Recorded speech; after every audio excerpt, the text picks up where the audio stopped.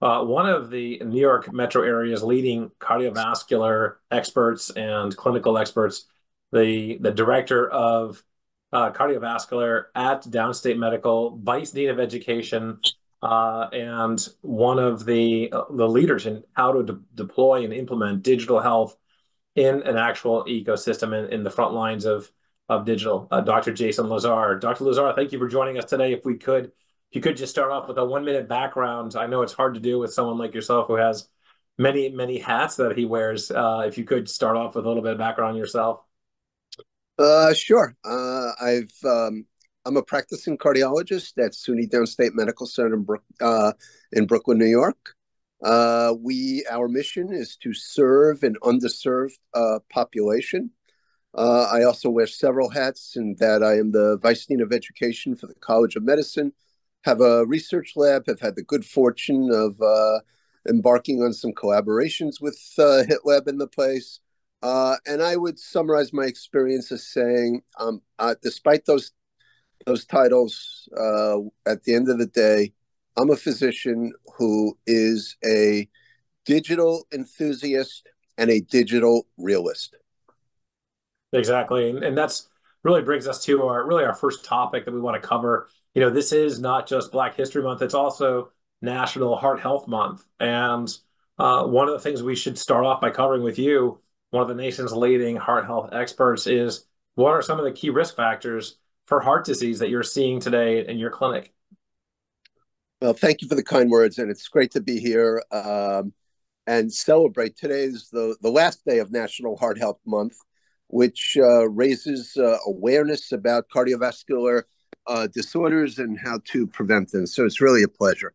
I mean, the key risk factors I think uh, most people know uh, they are uh, hypertension, hyperlipidemia, high cholesterol levels, smoking, diabetes, obesity, and there's also some uh, genetic links. And as I hope to convince the audience, I would venture to say the most underappreciated risk factor is actually a lack of sleep. I'll touch upon each of these very quickly if that's okay. Please. Hypertension is probably the greatest burden of health uh, worldwide. According to the World Health Organization, more than 30% uh, of people living throughout the world have hypertension. It not only impacts the heart, but also the blood vessels. And uh, this this effect on blood vessels is, is very important because high blood pressure damages blood vessels, which then go on to create more high blood pressure, more damage, and it becomes this self perpetuating uh, cycle. Uh, before COVID, uh, we uh, we were well on our way to understanding that hypertension is not only a risk factor for uh, heart attack, stroke, and kidney failure, but it is the leading risk factor that is modifiable for dementia as as well. And it's time to uh, return to understanding that. Quick word on hyperlipidemia. Uh, high cholesterol levels contribute to plaque within the arteries, and uh, therefore maintaining uh, normal cholesterol levels are uh, paramount. Smoking, uh, tobacco basically doubles the risk of everything in smokers as compared to non-smokers. And with the legalization of marijuana, I'll point out that there's a growing evidence of literature to suggest that the effects of marijuana on cardiovascular disease are identical to that of tobacco. Diabetes is uh, a simple name for a complex set of disorders uh, that result in high uh, glucose levels because of variable degrees of insulin resistance and or insufficient insulin uh, secretion. Uh, diabetics are somewhere between two to four times more likely to have a, a stroke, heart attack, and diabetes goes hand in hand with obesity. We often call it the diabesity epidemic. And then there are some genetic genetic history uh, factors that influence. And a word about sleep Poor sleep is associated with multiple chronic diseases, including hypertension, obesity, diabetes, etc. Uh, years ago, it was uh, bravado to claim to get two, three hours of sleep and to keep going. And now the American Heart Association uh, estimates that adults need seven to nine hours of sleep per night. That's a great outcome, and it's it's also important too. One of the things that we've been able to do at the lab, our scientists have studied sleep, and it's not just the, the time of sleep, right? It's also the quality of sleep because now there's a number of digital health devices that can measure whether you're getting either deep sleep or REM sleep. Really, REM sleep is when the neurons and the synapses are being properly cleansed out and, and can really help you neurologically as well. But um, is, is that, would you consider that to be one of the metrics? It's just not seven to nine hours, but seven to nine hours of quality sleep. Oh, yeah. Quality sleep is major. Uh, the easiest way to measure sleep is through uh, timing. But it turns out that disrupted sleep is even uh, more important. Uh, if you had a choice of sleeping the first four hours of laying down or the last, go for the first. That's when early slow wave sleep occurs. That's where most of the restorative processes in the body occur. Uh, and that's actually the time period, two to three hours, where we awaken the most when it is we are awaking. So uh, not only is it the duration of sleep, but the quality and the m- most frequent uh, issue that disrupts that quality is actually fragmented or disrupted sleep, something that I believe to be very important in the treatment of cardiovascular disease.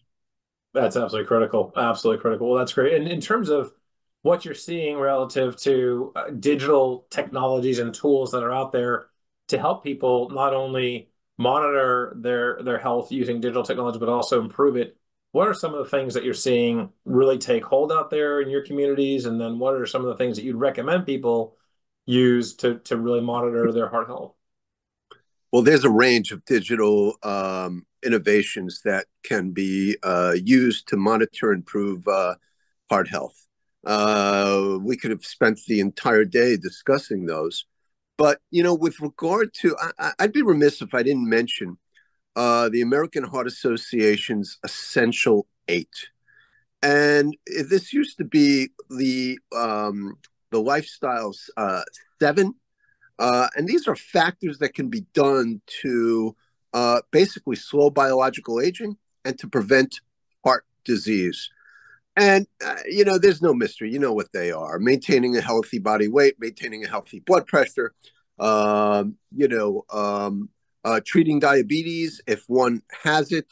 Uh, so um, one has to ask uh, can we put all of these different um, um, life's essential eight into uh, one package? And the American Heart Association actually developed an app to uh, do just that.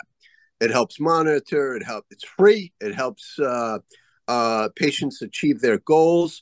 So, uh, and it really, um, it, it really depicts goals in a smart way. You know, uh, um, you know, uh, SMART is an acronym for specific, measurable, achievable, relevant, time bound. And that is what the AHA app uh, does. So that's one basic way. Uh, and the essential eight are scored on a, a scale of zero to 100, 34 questions. It takes just a few minutes, and it really is a useful tool. And I use it a lot with patients. Then you get into a whole series of apps, even step counters. I find 80% of my patients have step counters on their phone. They don't even realize it. I point it out. I would say, look, on average, this is what you've done this year. And by measuring it, we can uh, we can actually set goals and have them increase their activity. These are, you know, well-defined measures that um, and interventions that have shown to reduce cardiovascular events. It's amazing. We heard from our uh, absolutely. Sorry. It's phenomenal. Yeah, really, really amazing details there. Thank you, Dr. Lazar, and again, thank you for joining us. We know we could probably talk with you for hours on this, but we are at the two o'clock hour, and we want to make sure people can get onto their meetings. But again, thank you for joining us, Dr. Lazar. Appreciate your time today. Thanks for having me.